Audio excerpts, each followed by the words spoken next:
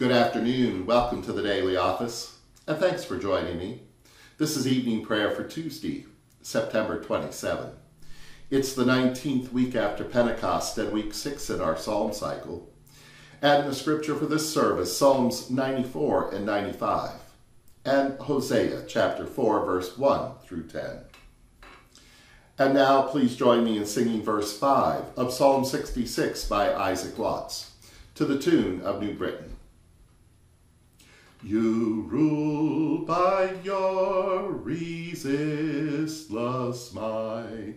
Will rebel mortals dare provoke the eternal to the fight and tempt that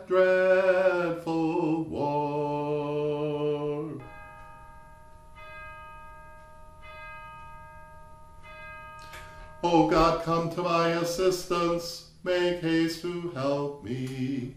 Glory to you, source of all being, eternal Word and Holy Spirit, as in the beginning, so now and forever. Amen.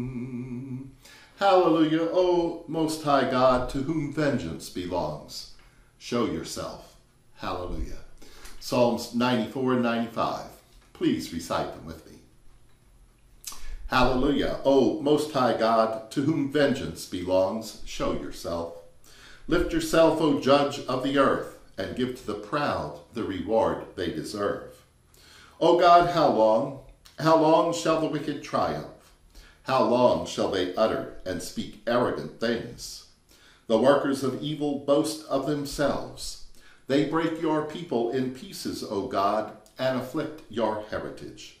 They slay the widow and the stranger, and murder the orphan. They say God does not see, the God of Jacob, Leah, and Rachel does not care. When will you understand, you brutes and fools? When will you be wise? Can the one that made the ear not hear? Can the one that formed the eye not see? Can the one that chastises the nations not correct? Can the one that teaches knowledge not know? God knows the thoughts of mortals, that they are vanity. Blessed are they whom you correct, O God, and teach them the wisdom of your law, that you may give rest from adversity until the pit be dug for the wicked. For you will not cast off your people, neither will you forsake your inheritance. But judgment will once again be for the righteous, and the upright in heart shall follow it.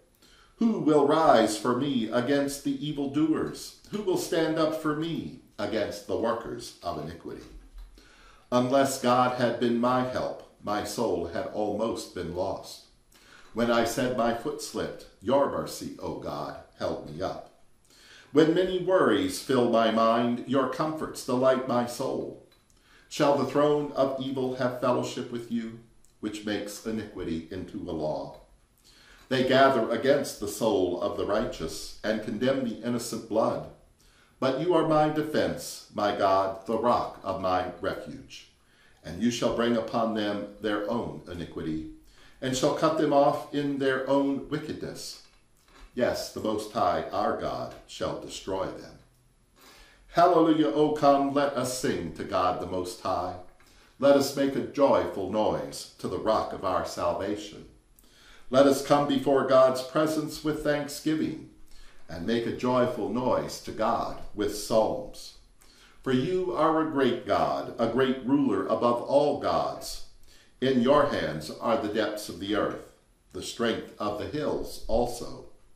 The sea is yours, for you made it and your hands formed the dry land.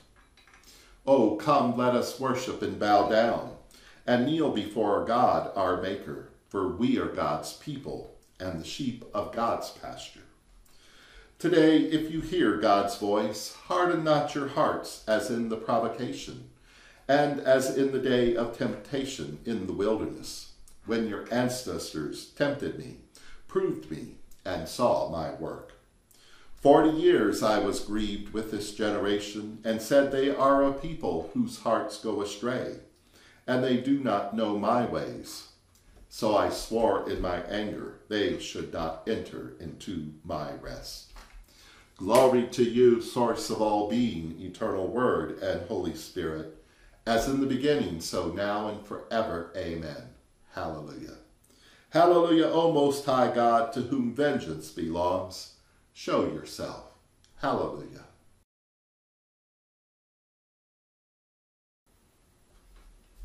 A reading from the prophet Hosea, chapter 4, beginning at verse 1.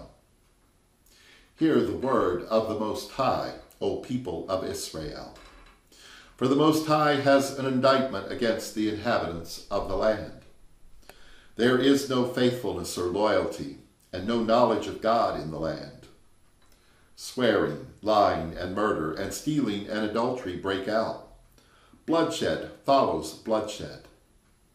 Therefore the land mourns, and all who live in it languish, together with the wild animals and the birds of the air. Even the fish of the sea are perishing.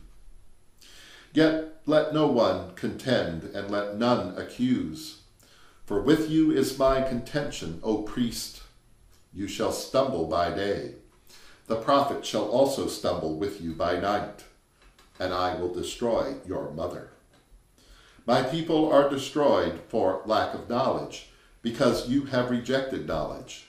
I reject you from being a priest to me. And since you have forgotten the law of your God, I also will forget your children.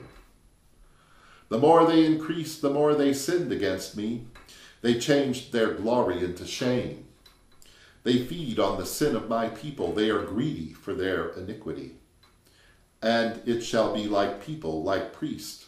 I will punish them for their ways, and repay them for their deeds. They shall eat, but not be satisfied.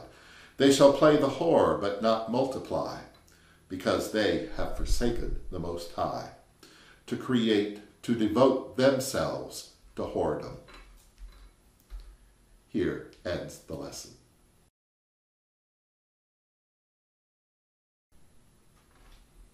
And now we are bold to say, Our Father, which art in heaven, holy is your name. Your kingdom come, your will be done on earth as it is in heaven. Give us this day our daily bread. Forgive us as we forgive others. Lead us not into temptation but deliver us from evil. For the kingdom, the power, and the glory are yours, now and forever. Let us pray.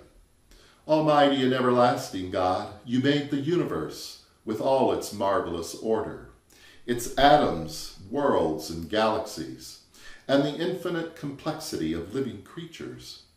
Grant that as we probe the mysteries of your creation, we may come to know you more truly and more surely fulfill our role in your eternal purpose. In Jesus' name we pray. Amen.